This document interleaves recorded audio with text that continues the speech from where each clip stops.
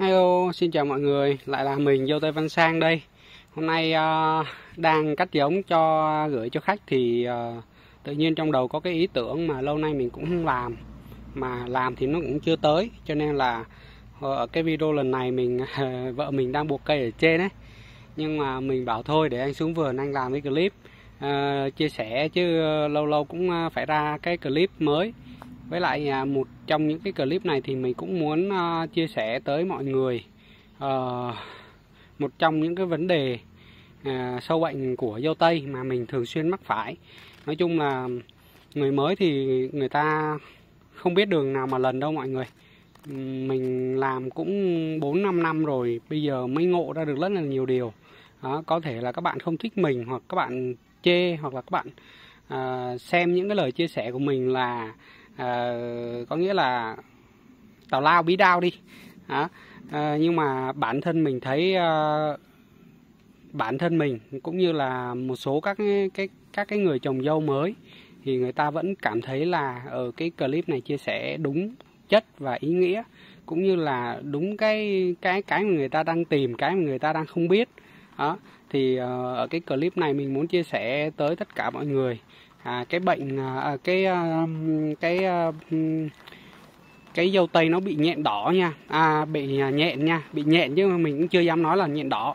Đó thì ờ, à, à, nhện đỏ thì nó nhện thì nó có hai chủng nhện đỏ nhện trắng nhện vàng ba chủng chứ quên mất.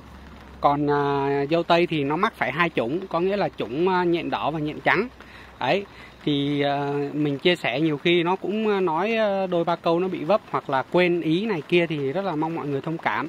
Nhưng mà thực sự thực lòng của mình là muốn chia sẻ tới tất cả mọi người uh, cái cách làm của mình và uh, làm sao cho đúng để mọi người nếu mà gặp phải trường hợp như mình thì mọi người tránh hoặc là biết cách xử lý nha mọi người. Chứ còn nếu mà không biết cách xử lý thì thực sự là mình sẽ không hái được một quả dâu nào nó nó nó nó nó trọn vẹn cả. Nó không có nó, nó không có to nó không có đều nó không có trọn vẹn đâu. Đấy thì bây giờ mình sẽ chia sẻ cái clip này nhá. Đó thì uh, dâu tây như lúc nãy mình đã nói á, thì là nó có hai cái giống nhện à, mà nó gây hại trên dâu tây. Có nghĩa là nhện đỏ và nhện trắng. À, nhện đỏ thì mình uh, thấy là nó bị ít hơn. Còn nhện trắng thì mình uh, đã phát hiện ra rồi. Nhưng mà mình những cái những cái năm trước mình làm á mình đây mình chia sẻ thật nha những năm trước mình làm á thì là mình chỉ phun định kỳ. Những cái dòng thuốc à, trị sâu chỉ nhẹ nó như là chung chung chung vậy đấy.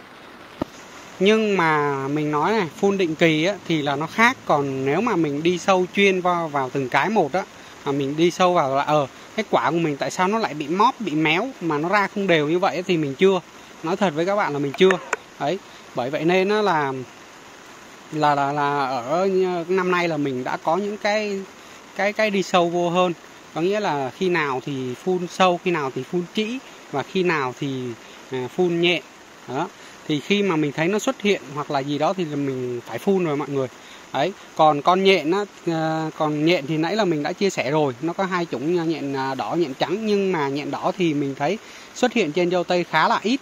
Đấy. Còn nhện trắng thì xuất hiện là khá là nhiều. Nhện trắng là một trong những loại nó cực nhỏ luôn. Nó nhỏ phải hơn hơn con bọ chỉ một tí luôn nhưng mà cái thân hình nó trong suốt mọi người. Khó rất là khó để nhận biết nó. Và nó chỉ bu bám ở những cái đầu đọt thôi. Và những cái chùm bông chùm quả mới ra thôi. Thì đây là một trong những cái chỗ mà nó bị nhện nhá. Đây những cái lá như thế này là đó đã đang ờ, đợt trước nó bị nhện này. Đây này mọi người thấy không? Đó nhưng mà mình bảo là do chỉ nhưng mà không phải. Đó, có những cái là nó do chỉ có ờ, chỉ thì là chỉ với rầy thì là cái mọi người để ý là cái chỗ ờ, cái chỗ lá này này là nó sẽ bị đen đen đen như là cái đít nhọ nồi á, như là cái nhọ nồi nó bị đen á. Đó còn nếu mà mà nhện á là nó sẽ không phải. Còn mọi người thấy không? Cái lá này lên nó vẫn bị này. Nhưng cái lá này lên nó không bị nữa này mọi người thấy không? Đó thì mình có làm sao mình chia sẻ vậy nói thiệt các bạn luôn á. Đây này cây này cũng vậy này rồi cây này cũng vậy này. Đó có sao mình nói vậy mà chia sẻ thực thực thực tế luôn đấy đây lá này nó bị đây. Đấy xong mà lên đây nó vẫn hơi hơi bị đây mọi người thấy nó vẫn hơi xoăn hơi quắp không? Nhưng mà lên đây nó hết rồi này. Nó mở như thế này là hết này này. Đây, cây này cũng thế. Quay từ đây sang đây nhá, chứ không phải quay cắt ghép các thứ này. Đó, từ đây này, đấy, nó bị này, nó bị này. Đấy, rồi nó vẫn hơi hơi bị này. Nhưng mà ra đến cái lá mới của nó, mọi người thấy không? Đây, cái lá mới của nó này. Nó to, nó khỏe, nó bè cả, kể cả cây giống của nó cũng thế này, mọi người. Nó không còn bị nữa. Là mình ở, là mình đã biết được ở cái này là không phải là mình phun các cái thuốc sâu, thuốc chỉ thuốc uh, các thứ uh, tổng hợp là được mà mình phải đi chuyên sâu vào là cái như cái này là mình đánh mỗi nhện thôi. Chứ mình đánh những cái thứ kia vô là cái nhện gần như là nó bị kháng thuốc hoặc là những cái hoạt chất đấy những cái thuốc đấy là nó không có tác dụng đối với nhện nữa. Hoặc là nó có tác dụng nhưng mà nó tác dụng không triệt để mọi người hiểu không? Không triệt để có nghĩa là mình đánh vô thì một số các cái con thì nó vẫn chết nó vẫn ờ, kiểm soát được một ít nhưng mà đa phần thì là nó không ăn thua cho nên là nó vẫn gây hại trên ruộng dâu của mình, trên cái loạt dâu của mình nha mọi người. Thì tí này mình sẽ qua bên này cho mình cho mọi người xem những cái lá.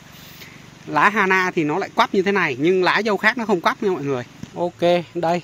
Thì đây là cái khu vực ờ, cái ờ, chỗ dâu mà nó bị ờ, nhiễm nhện đỏ mà mình cảm thấy là mình chia sẻ, mọi người sẽ dễ phát hiện ra nhất. Đây, thì dâu này nó đang ra bông nha mọi người. Nhưng mà đây là cái dấu hiệu của bị nhện đỏ này. Đây này. Đây này nó không phải là bị bọ trĩ đâu mọi người. Tại vì á bọ trĩ á lúc nào á mình sẽ quay trực tiếp cho mọi người xem con bọ trĩ như thế nào. Thì vì cái camera này vẫn thấy được bọ trĩ nha. Nhưng camera này không thể nào zoom mà thấy được con nhện. Đó tại vì mắt thường mình thấy đã khó rồi lên camera thấy lại càng khó hơn. Đó cho nên là những cái quả dâu như thế này nó bị thâm đen này là nó bị à, nhện đó mọi người ạ. Đó, mình đã phát hiện ra rồi đấy nhưng còn những cái quả nào nó lành lặn mà nó to nó ấy như thế này thì nó không phải này. Đấy còn những cái quả nào nó đốm đốm đốm đốm chụp chụp chụp chụp như vậy là nó bị dính trưởng. Nha mọi người. Đấy còn bắt đầu mình phân biệt trên lá này cho mọi người xem này. Cái lá nào nó không bị mà cái lá nào nó đã bị rồi này nè. Đây mọi người có thể thấy đây. Trên một cái khung hình như thế này nhá là những cái những cái lá này là nó đang bị này. À, đợt trước này nó bị chứ bây giờ không phải nó chắc hết rồi nhưng mà cái lá này là trước là có lá mới là tí mình sẽ soi, mọi xem, mọi người xem. Tại vì mình thấy cái này nó khá là nhiều bạn cứ bảo là phun bọ trĩ nhện đỏ, nhưng mọi người thứ nhất không phân biệt được bọ trĩ nhện đỏ.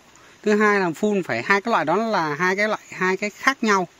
Cho nên là mình không thể nào phun đồng đánh đồng được. Có nghĩa là phun cái này, người ta bảo, người ta ghi trên bao bì nha. Ghi trên bao bì là bọ trĩ nhện đỏ, chích hút, rầy, riết các thứ. Nhưng không phải đó, mình bán thuốc mình biết à, những cái ghi trên à, trên bao bì ấy, nó chỉ là đánh vào cái mắt thị cái cái cái cái, cái mắt của mình thôi chứ nó không phải là triệt để.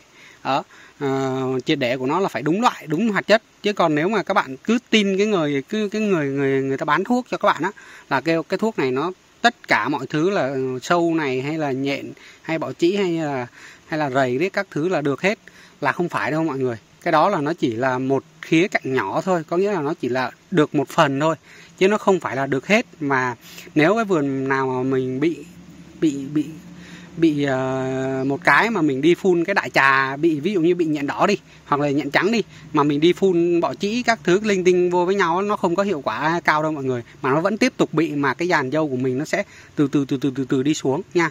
Đấy cho nên là đây mình chỉ cái, cái, cái cây này nó bị là, là bởi vì sao? Tại vì á mình trước đây mình cũng bị nhưng mà cái thời gian nó trôi qua đi nhanh quá mình cũng chẳng để ý. Đó, nhiều khi cũng chỉ nhớ là ở tới ngày đó là mình phải xử lý thuốc cho nó thôi. Thì cũng nói thật với mọi người mình vừa làm vừa rút kinh nghiệm chứ không phải mình nói mình giỏi đâu. Nhiều bạn ờ, đừng ờ, đừng nói ờ, có, có nghĩa là mình bảo là mình ý mình trồng dâu mình này kia không có đâu chưa bao giờ đâu. Chưa bao giờ mình nói vậy đâu đây. Mọi người có thể thấy này đó cái lá của nó nó đỏ đỏ đỏ đỏ, đỏ hết lên mà nó ờ, nó, nó nó nó nó nhìn nó không có được sạch đâu mọi người. Nhìn nó bẩn bẩn bẩn á, mà nó vàng vàng vàng ra vậy này. Đấy rồi cái này là bị lá nha còn đến nó bị bông là nãy mình quay cho mọi người coi rồi đó. Còn cũng cái cũng cái cũng cái cái, cái cây này nha. Đây này đây này bên này một cây nhá là cái lá này này mình chỉ này. Cái lá này thì nó cũng bị này mọi người thấy không? Nhưng mà nó bị ít hơn. Đó cái cây lên này thì nó đỡ hơn tí. Lên này thì nó lại trắng hơn tí mọi người thấy không? Hai cái mặt lá nó bị và và nó không bị, trên cùng một cái cây nó khác nhau hoàn toàn này. Đó. Một cái đỏ hoe mà, và sẫm lại một cái là nó trắng ra. Còn đến cái lá mới ra nhất này, mọi người thấy không? Cái lá mới ra nhất đây. Đó, mọi người thấy khác nhau hoàn toàn chưa? Đây, cái lá này với cái lá này này. Đó, khác nhau hoàn toàn đây nhá. Đây cũng thế này. Này, cái này là nó nó nó hơi đỏ đỏ đỏ này. Đấy, còn lên lên cái này là nó trắng lại rồi này, mọi người. Thấy không? Hồi trước này mình bị cái tình trạng này nói thật là rất nhiều, mình cũng xử lý thuốc, nhưng mà mình bảo quái, sao xử lý rồi mà nó nó ra một thời gian ngắn sau nó lại bị lại? Có nghĩa là xử lý này nó chưa đúng, chưa tới mọi người ạ. Cho nên bây giờ mình mới biết mình phát hiện ra là mình đang làm cây giống mình gửi nha. Đang làm cây giống mình gửi, mình kêu thôi, để xuống đây làm cái clip cho nó khỏi quên, vì cái lúc này cái đầu mình đang có ý tưởng á, thì mình làm nó sẽ đỡ bị quên và cái mạch cảm xúc của mình nói thì nó sẽ ok hơn là cái lúc mình quên đi xong bắt đầu mình nhớ lại xong rồi mình nói thì nó sẽ không chuẩn nha. Đây không phải là giống dâu nào nó nhện đỏ nó cũng chọn để nó nó, nó, nó, nó hút nha mọi người nó nó chích hút nha. Trong cái vườn mình trồng thì mình trồng đến tám tám loại dâu chín loại dâu. Thì mình thấy một số các loại dâu thì nó hay bị nó hay bị nhện đỏ nhưng còn một số loại thì nó kháng được cái sao á. Đó thì đây là bản thân mình thấy sao là mình nói vậy chứ không phải là mình ờ, ấy đâu. Cho nên là mình biết cái gì thì mình sẽ chia sẻ tới cái đó nha. Ờ, chỗ này á, thì là nó cũng ờ, không bị ấy nó cũng không bị hoặc là nó bị nhưng mà cái cây nó vẫn để kháng được tốt hơn. Đó thì nó cũng cùng trên một cái luống dâu này thôi. Nhưng mà cái đám kia nó bị nhưng cái đám này nó lại không bị. À không phải là không bị không phải là không có nhưng mà nhưng mà nhưng mà à, chắc là nó khỏe hay như thế nào đó. Đây mọi người thấy nách trong của nó này. Đây, rất rất là khỏe ra rất là nhiều bụi luôn rất là nhiều ờ, ấy luôn. Đấy đây đám này thì đang ra các cái chùm bông nha mọi người. Mùa này trồng dâu là nhức cái nắp rồi. Mùa này trồng dâu là đúng vụ đấy gọi là đúng vụ dâu đúng vụ đấy. Đây. Dâu này thì nó quả nó bé thôi nhưng mà được cái nhiều quả hoa nhiều mọi người. Mình thấy là dâu uh, dâu Hana với dâu Mỹ là nó hay bị ờ, nó hay bị nhện đỏ tấn công mạnh nhất.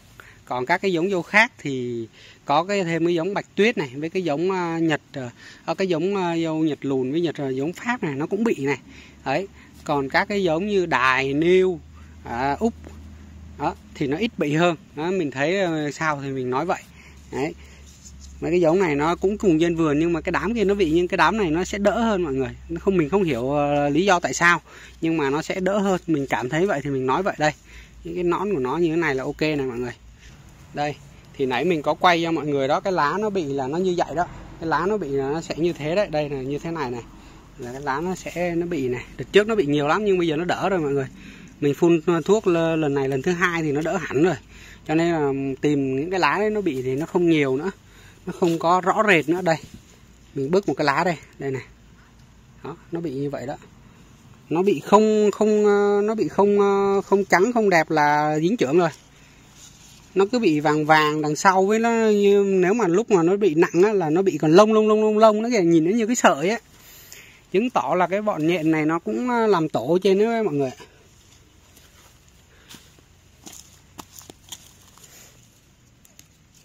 đây này mọi người thấy không? Đó nhìn ghê không? Không thấy gì hết.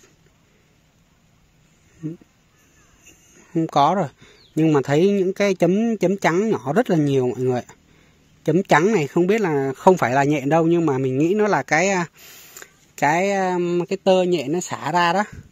Nè, cái này là nặng nè. Nè, cái này nặng này cái này đỡ hơn này nó trắng hơn tí này thấy không? Đó, còn cái cái trắng hơn nữa thì là mình soi đi, mình thấy là những cái đọt mới ra nó không bị là nó không thấy nữa. Là nó không thấy, nó đỏ nữa. Đấy, thấy không? Mọi người thấy không?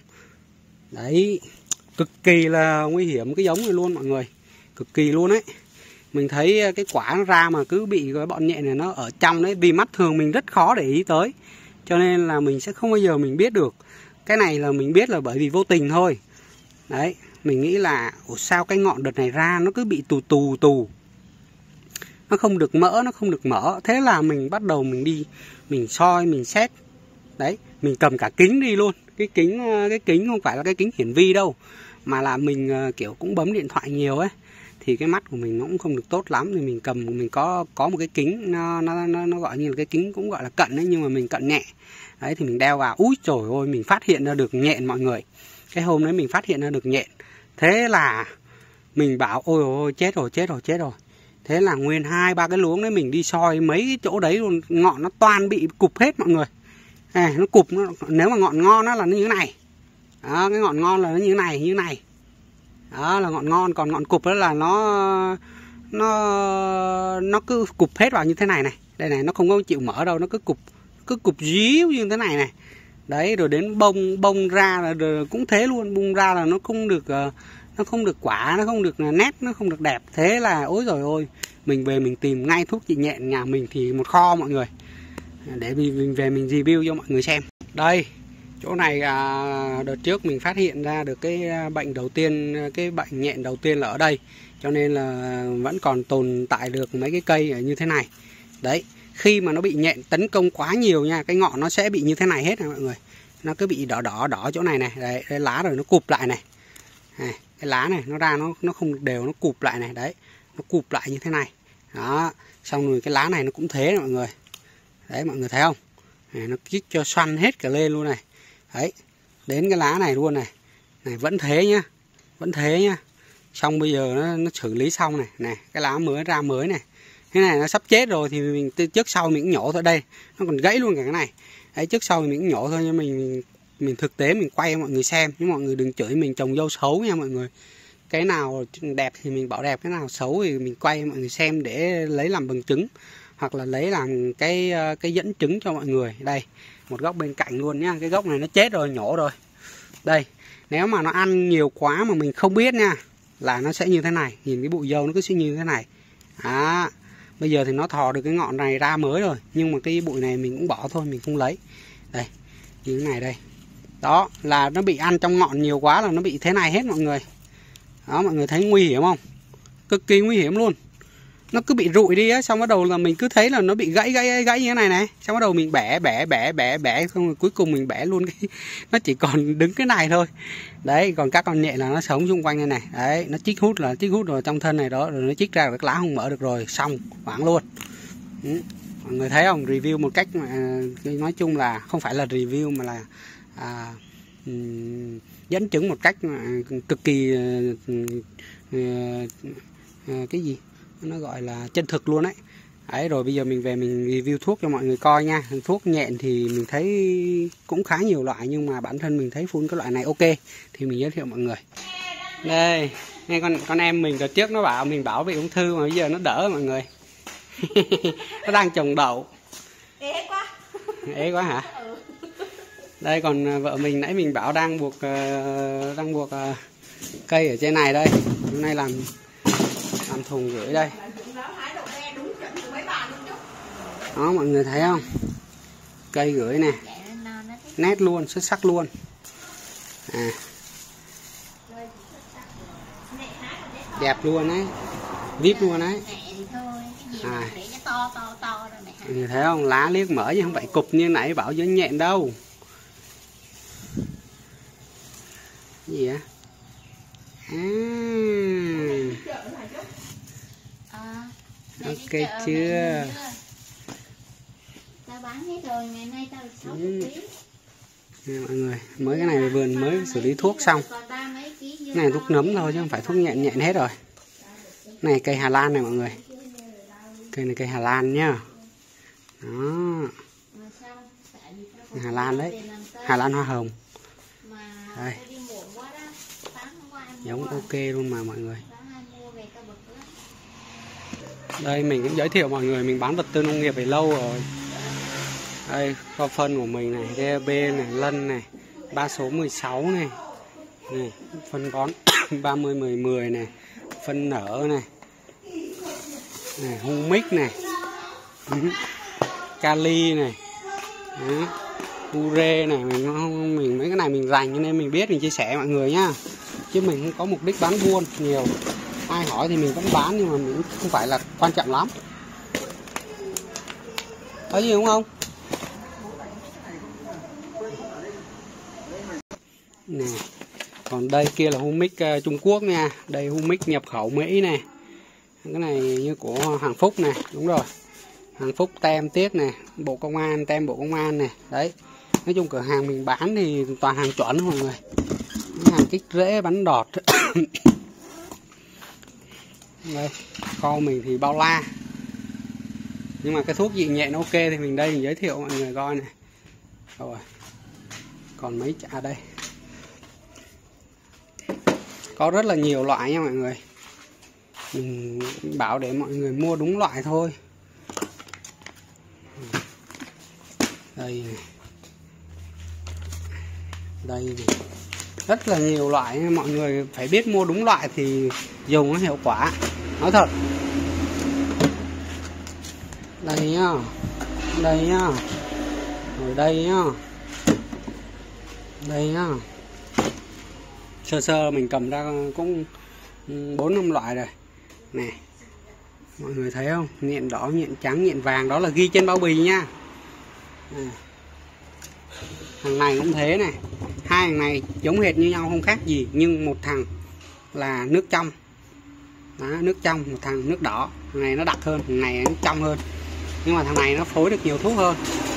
Nhưng mà nó ghi cũng nhận đỏ nhận trắng nhận vàng các thứ sâu dậy bỏ chỉ các thứ như lung tung các kiểu. Nhưng mà để mà dẹt nhẹ nó thì loại này mình đánh giá là không ăn thua. Nói chung là nó chỉ được khoảng ờ, 20 phần trăm thôi. Đây loại này dày nâu ờ, dày xanh bỏ chỉ bỏ nhậu ờ, các thứ lung tung. Này bỏ chỉ này phun dày bỏ chỉ này thì được này.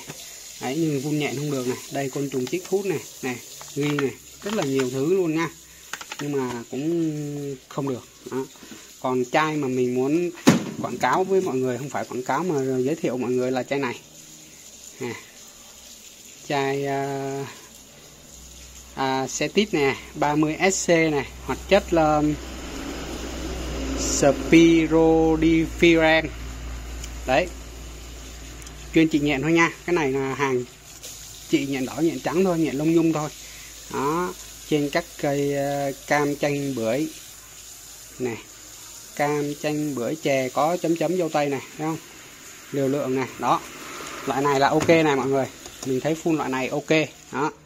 Ok, loại này là phun nhện là chuẩn luôn thì không biết mọi người trên ờ, mấy nơi khác bán sao nhưng mà một chai này thì nó phun được ờ, khoảng nếu mà chuẩn của nó phun chắc được khoảng ờ, 120 lít nước đến 140 lít nước một chai.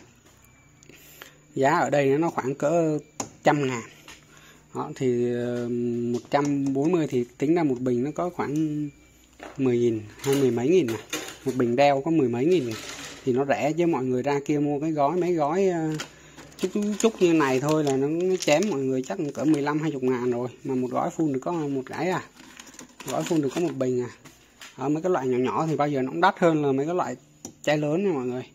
Đấy thì mình giới thiệu mọi người để mọi người tìm mua mấy cái loại này này. Mua cái loại này là xài ok luôn. Ừ.